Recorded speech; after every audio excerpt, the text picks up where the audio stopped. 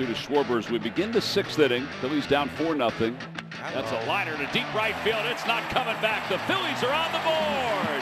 Kyle Schwarber is 34th home run of the year.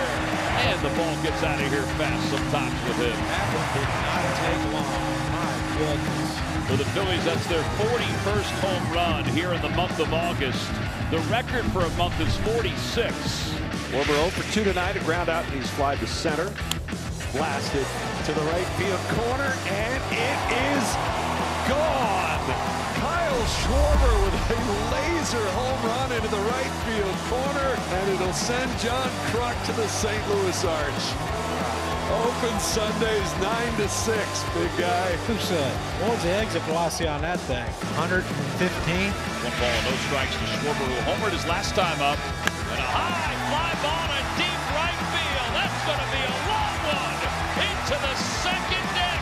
Second home run of the day for Schwarber. It's number 30 on the year. And this three-run bomb gives the Phils a 6-3 lead. Well, that's one of the longer ones for Schwarber, 447 feet. And he's starting to churn a little bit here, Johnny.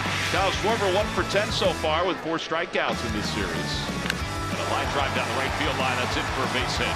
Going off the padding at the 322 side. That'll enable Kyle to pull into second easily with a leadoff double. Take a listen behind us, folks. I mean, there are a lot of Philly fans yet again. Yes, indeed. I think that 0 for 6 last night chapped Kyle a little may bit with, have. it- with that swing right there. That away, big man.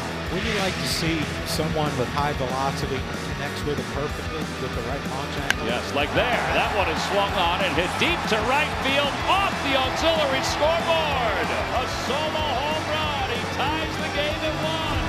His 14th homer of the year. It's his eighth straight game with an RBI. You thought 111.9 was fast last night? That's 115.7.